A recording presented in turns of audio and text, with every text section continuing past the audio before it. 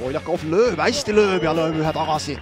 Poljakovilt üles risti ja saab sinna küll Orehov näpud vahele, aga ei suuda tõrjuda ning Narva Trans on mängus tagasi. viiekümne seitsmendal minutil Deniss Poljakov keerutab karistuslöögi ristnurka ja jääb see sinna kasti pidama. Mašitšev, uuesti pall kasti, aga Valliku ja tuleb ära! üks-null, Deniss Tjapkin kolmekümne seitsmendal minutil. nüüd lõõk õnnestub täielikult ning Mait Toom on võimetu, tuleb see pall sealt meeste tagant niimoodi, et Deniss Tjapkin oma selle hooaja teise värava Premium-liigas lööb mind väga-väga olulisel kohal.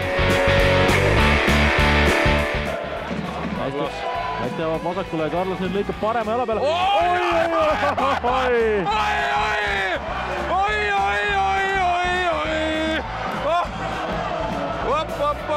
vot siit oli hea kaader, see pall keeras sinna ristnurki nagu oh. on näha, on näha, tegemist on Brasiilia jalgpalluriga ikkagi. seda on mees harjutanud, seda mees oskab ja. võiks eeldada, aga kohe näeme. Nagu teeb pette ja Kruglov läheb lööb ja, ja lööb ära.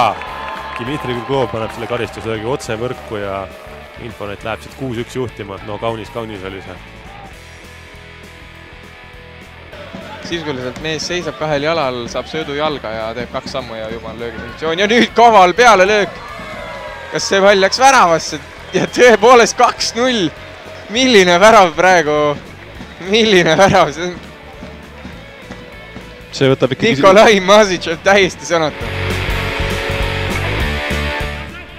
et teatud hetkedel Aiguja löök tuleb eemalt Artjom Dmitrijev ja skoor on avatud neljakümnendal minutil ja no see väravani oli tõesti maad, see oli ligi kolmkümmend meetrit. aga ju ta vaatas, kus väravvaht seisab ja otsustas eemalt lüüa ja, ja viimase kümne-viieteist minuti jooksul Kalju on eemalt palju proovinud